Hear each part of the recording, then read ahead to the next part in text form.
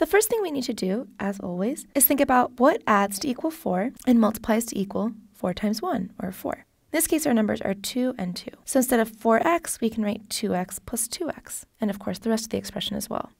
Now something interesting happens when we try to factor the first two terms and the second two terms. The first two are pretty normal. We pull out a 2x from the 4x squared plus 2x. But then when we get to 2x plus 1, well, there are no common factors that 2x and 1 have aside from 1. So that's exactly what we write, 1. And then the last two terms, 2x plus 1. Conveniently, this still works out perfectly. And we get 2x plus 1 times 2x plus 1, which we can also write as 2x plus 1, the quantity squared.